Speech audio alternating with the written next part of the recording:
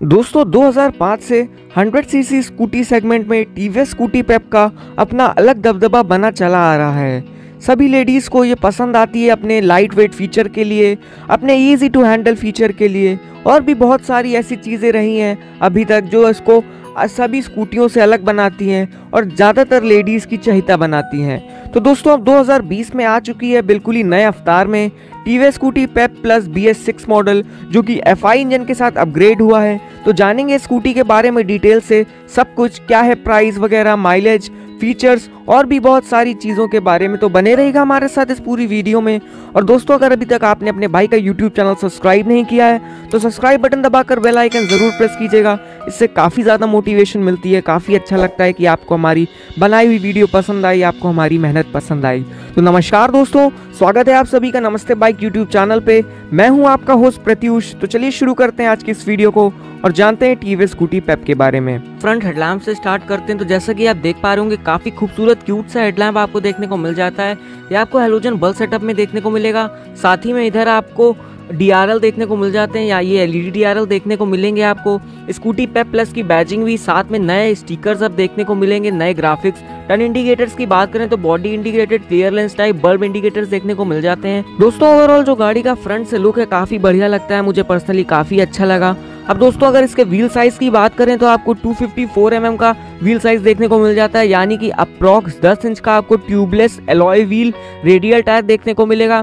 काफ़ी बढ़िया लगता है, आप जैसा कि चेकआउट कर पाएँगे, आपको टायर साइज़ में भी कोई कमी नहीं। साथ ही में ड्रम ब्रेक देखने को मिल जाता है। फ्रंट सस्पेंशन की बात करें तो आपको टेलीस्कोपिक सस्पेंशन देखने को मिलता है, जो ज़्यादातर आपको हाई एंड स्कूटियों में देखने को मिल जाता है। अब दोस्तों, बात कर लेते हैं इस गाड़ी के डायमेंशन को लेकर। तो सबसे पहले मैं आपको चेकआउट इसकी सीट करा देता हूँ। तो जो इसका सीट का ग्राफिक्स है, काफ़ी बढ़िया मुझे लगा। साथ ही में काफ़ी सॉफ्ट सीटिंग रहने वाली है तो आपको कोई भी प्रॉब्लम स्कूटी के सीट को लेकर फेस नहीं करनी पड़ेगी। जैसा कि आप देख पा रहे होंगे स्कूटी पेप प्लस की बैजिंग देखने को मिल जाती है आपको साइड प्रोफ़ाइल पे। काफ़ी बढ़िया लगता है, आप सही से चेकआउट कर दोस्तों, जैसा कि आप इसका फुटबोर्ड देख पा रहे होंगे, काफ़ी अच्छी प्लास्टिक में देखने को मिल जाता है। साथ ही में आपको ample amount of foot storage देखने को मिलेगी, काफ़ी बढ़िया लगता है। प्राइस कटिंग कहीं पे भी आपको देखने को नहीं मिलेगी। दोस्तों, अगर इसके मीटर कंसोल की बात करें तो आपको फुल्ली एनालॉग मीटर देखने को मिलता है, जिसमें आप अपनी स्पीड ट्रिप और फ्यूल कैपेसिटी वगैरह चेक कर पाएँगे। साथ ही में इंजन मेल फ़ंक्शन लाइट भी वहीं आपको देखने को मिल जाती है। स्विच गेयर्स की बात करें तो काफ़ी अच्छी क्वालिटी में आपको स्विच गेयर्स देखने को मिलेंगे। इस तरफ़ आपको high beam low beam switch turn indicator switch देखने को मिल जाता है। दोस्तों, सबसे अच्छा फीचर मुझे ये लगा कि इसमें आपको इलेक्ट्रिक फ़ोन चार्जर भी देखने को मिल जाता है। जी हाँ दोस्तों, आपने सही सुना।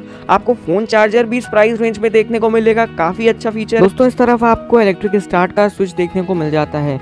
दोस्तों, अगर इस गाड़ी के वेट की बात करें तो इसमें आपको 93 के का लाइट वेट स्कूटी देखने को मिलेगी। दोस्तों, ये मैंने कर वेट बताया, यानी कि बिना फ्यूल के वेट बताया है। दोस्तों, अब मैं आपको इसका फ्यूल टैंक भी दिखा देता हूँ, किस तरफ़ आपको देखने को मिल जाता है।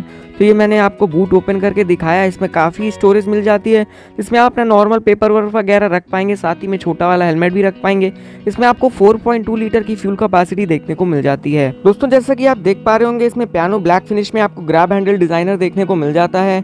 अगर रियर टेल लैम्प की बात करें तो आपको बल्ब सेटअप में बॉडी इंटीग्रेटेड इंडिकेटर्स के साथ देखने को मिल जाती है, काफ़ी बढ़िया लगती है। साथ ही में नीचे की तरफ़ आपको नंबर प्लेट पे लाइट भी देखने को मिल जाती है। दोस्तों, अगर रियर व्हील के डायमेंशंस की बात करें 254 mm का व्हील साइज़ देखने को मिल जाता है।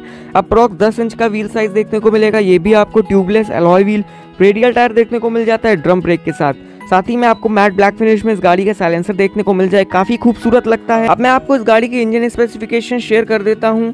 तो इसमें आपको single cylinder four stroke fuel injected air cooled spark ignition ETFI technology वाला इस इंजन देखने को मिल जाता है। 90 सीसी का इंजन देखने को मिलेगा जो 5.4 पीएस की पावर जनरेट करेगा 6500 आरपीएम पर, और 6.5 न्यूटन मीटर का टॉर्क जनरेट करेगा 3500 आरपीएम पर। दोस्तों, इसमें आपको बी एस सिक्स इंजन देखने को मिलता है। साथ ही में इसका जो पावर और टॉर्क है, हल्का सा बढ़ गया है बी एस फोर मॉडल की तुलना में। ज़्यादा कुछ चेंजमेंट नहीं दिखेगा। और लेडीज़ को काफ़ी बढ़िया स्मूथ राइड प्रोवाइड कराएगी ये गाड़ी, ये मैं दावा कर सकता हूँ। तो चलिए दोस्तों हम बात कर लेते हैं सबसे मेन और इम्पोर्टेंट इस गाड़ी के प्राइस को लेकर। तो जो गाड़ी का एक्स शोरूम प्राइस है, वो आपको forty eight thousand eight hundred rupees देखने को मिल जाता है, यानी कि अड़तालीस हज़ार आठ सौ रुपये सारे पेपर वर्क वगैरह मिलाने के बाद ये आपको ऑन रोड पड़ जाती है।